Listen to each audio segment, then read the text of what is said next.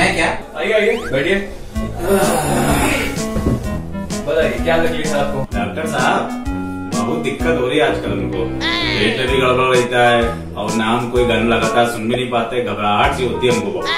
पता नहीं क्या हो गया हमको समझ में नहीं आ रहा। अच्छा ऐसा करो आप सा करो। आ, अरे आ नहीं सा सा बोलना है। मुझे रिदम चेक करनी है यार तुम्हारी। सा बोलो। सा। हम्म। ठीक है। देखिए ऐसा है। आपके मुझे पहले कान पे लगाना पड़ेगा। ऐसा करिए ये जरा लगाइए कान पे।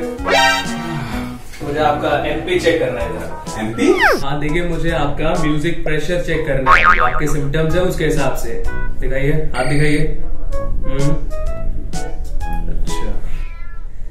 ठीक घबराहट वाली कोई ऐसी बात है नहीं। आपको कुछ ज़्यादा इतना सीरियस मुझे नहीं लगता है हुआ है। आप ऐसा करिए मैं आपको छह गाने लिख देता हूँ।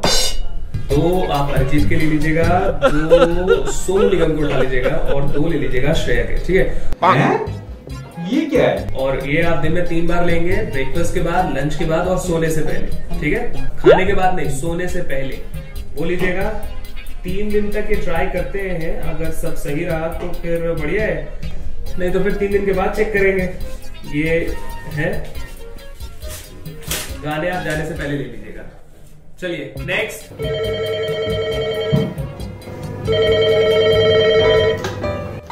हेलो हाँ। अभी? हाँ ठीक है मैं आता हूँ।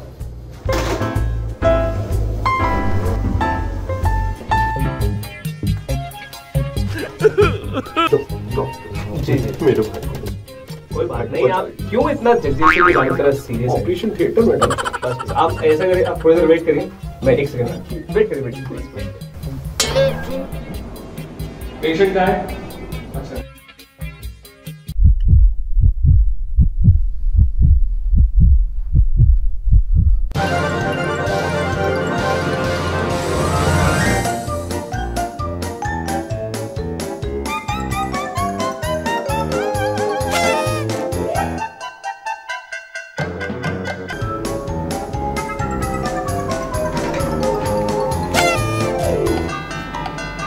इसको लगता है सलाई लगानी पड़ेगी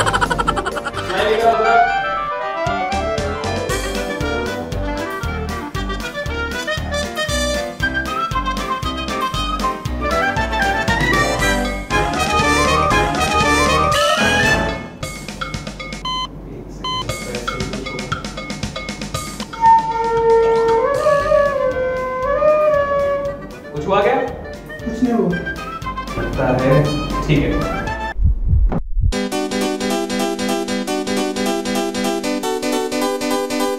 कुछ हुआ?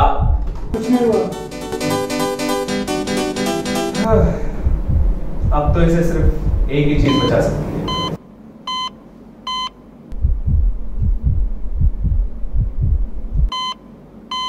अब यही इसे बचा सकता है।